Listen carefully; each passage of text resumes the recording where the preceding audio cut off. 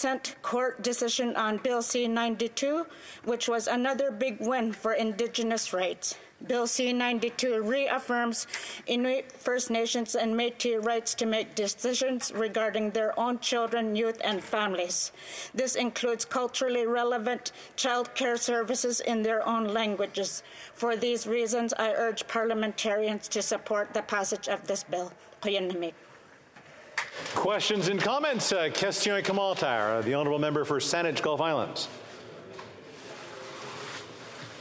Thank you, Mr. Speaker, and I want to thank my honorable colleague from Nunavut for her excellent speech, as always. I find it very inspiring, Mr. Speaker, and I ask my honorable colleague if she'd like to share with the House again her intergenerational lens on the uh, appalling and genocidal residential school system is to find webs of intergenerational love and caring. I, I find that inspiring, and I wonder if I've gotten it at all close to the mark, if she would be willing to share that again. Thank you, Mr. Speaker. Honourable Member for Nunavut. And I thank the member for her important question.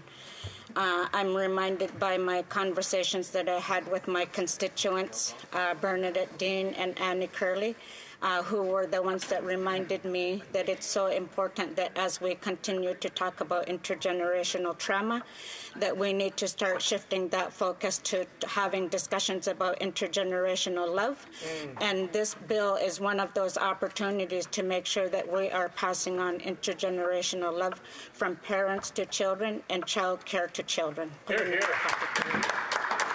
Uh, question et commentaire. Questions and comments?